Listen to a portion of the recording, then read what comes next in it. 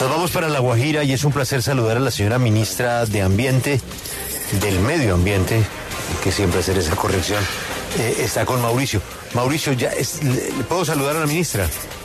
Sí, sí, Julio, le está escuchando. Muy buenos días. Ministra Mohamed, gracias por atendernos. Muy buenos días.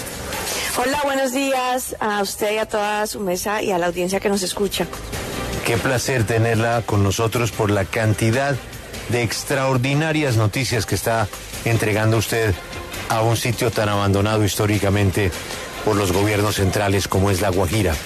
Señora ministra, el presidente de la República eh, y la señora ministra de Energía han insistido en el potencial que es La Guajira como ese inmenso, inmenso desierto de viento y el interés de muchas multinacionales en eh, explotar esa ventaja geográfica que nos dio la naturaleza. Pero señora ministra, lo primero es cómo se puede avanzar en esa maravillosa idea si se acaba de ir una de las compañías porque no aguantó la presión de la comunidad. ¿Cómo se va a conciliar poder desarrollar ese parque de aire sin la autorización de la comunidad que hace en muchos casos imposible su desarrollo? ¿Qué han avanzado ustedes para que la comunidad permita que ese parque de aire sea una realidad.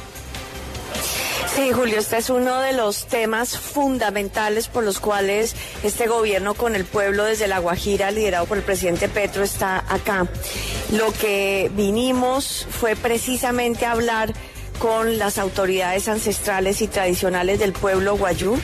Ayer se firmó un pacto para avanzar en la transición energética.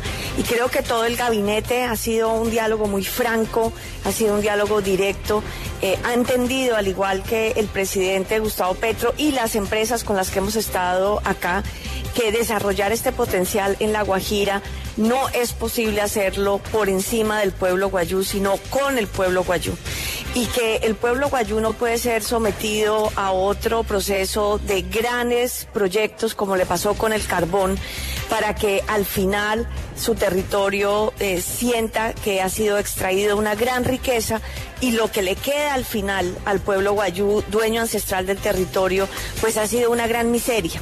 Y ese diálogo franco ha llevado a resultados muy interesantes. Fíjese que bajo el liderazgo del Ministerio de Minas y Energía, con la presencia de la ANLA, se logró terminar las consultas previas de colectora ayer. Fue la última y son una gran celebración con las comunidades. Y lo que las comunidades piden es que se respete su sistema normativo, se respeten sus autoridades legítimas. Ha habido mucho desorden en la interacción con el pueblo guayú. Los proyectos que empezaron desde el 2018 no tenían el mapa de autoridades legítimas, se ha generado conflicto y esto precisamente es lo que hemos venido a trabajar y que ya ha dado un primer resultado con seis meses muy fuertes de trabajo de completar 55 consultas previas que faltaban. Pero además eh, de escuchar directamente a las comunidades y hay este pacto que el diálogo va a ser directo entre el gobierno nacional y las autoridades y que el diálogo también es un acuerdo con las empresas, es el método por el que vamos a ir resolviendo mucha conflictividad que hay, porque obviamente es un territorio eh, que ha sido muy excluido, con grandes dificultades y necesidades, pero que esto ya también ellos mismos dicen, saben que es una oportunidad eh, y el presidente les ha hecho una propuesta muy importante que ellos sean socios de los proyectos. Se lo ha hecho a las empresas, se le ha hecho la propuesta al pueblo guayú y Ecopetrol va a avanzar en trabajar cómo pueden eh, las mismas eh, comunidades, el mismo pueblo guayú ser socio y parte de esa gran prosperidad que puede ser para todo Colombia, pero especialmente para La Guajira. Ministra, hablando de diálogos, ustedes han eh, hecho acercamiento con otras comunidades y hay una muy importante la cual eh, ustedes van a visitar mañana. Se trata en Albania.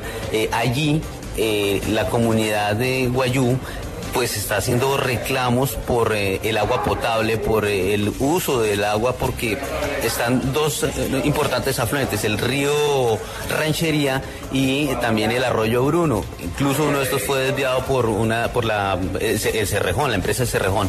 Ustedes van a dialogar con la comunidad que tiene preocupaciones porque prácticamente no tienen acceso a agua. Sí, de acuerdo. El sur del Cesar, fíjese, una parte, la parte de la Guajira con más disponibilidad de agua superficial, eh, tiene hoy una dramática situación de acceso al agua.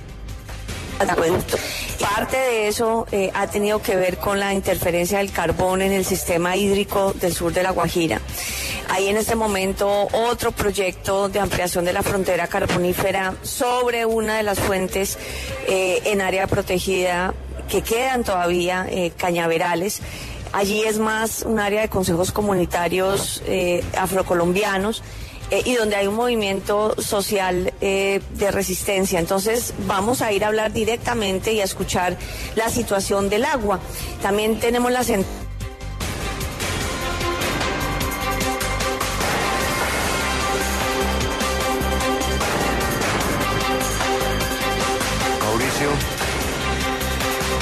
Mauricio, ministra, ¿me escucha?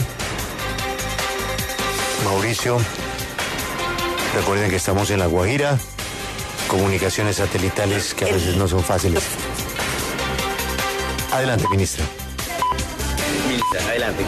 Sí, ah, decía que uno de los retos más fuertes eh, para concluir todos estos programas que lleven realmente y definitivamente el agua potable, porque puede haber disponibilidad del agua cada vez más fuerte, la dificultad con el cambio climático que ha afectado dramáticamente a la Guajira, pero digamos puede haber opciones, sin embargo, eh, un departamento en donde durante 12 años ha habido 16 gobernadores, donde hemos tenido una falta de continuidad de la institucionalidad, ha sido complejo y por eso el gobierno nacional viene toda esta semana. Entonces, si mañana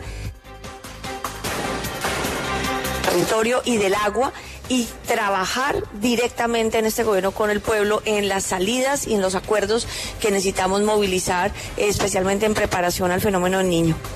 Ministra, también se ha hecho un trabajo muy importante con eh, lo que tiene que ver los pastos marinos, con eh, también el parque Macuila que se, eh, se, van a destinar estos recursos para recuperarlos y para protegerlos.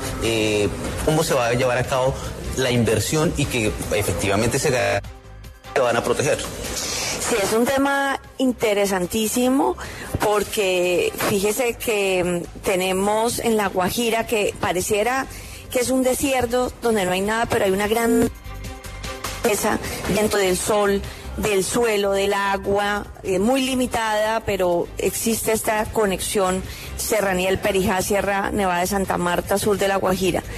Eh, tiene también el 80% de los pastos marinos del país y eso es una extensión de más de 64 mil hectáreas. Y esto porque es importante, fíjese que un hectárea marinos absorbe siete veces más carbono que una hectárea de la Amazonía. Y en esta nueva economía azul, en donde el mundo está dispuesto a pagarle a Colombia para que sus ecosistemas sigan siendo este corazón de absorción eh, del problema del carbono mientras las economías industrializadas descarbonizan, pues es otra oportunidad para el pueblo guayú.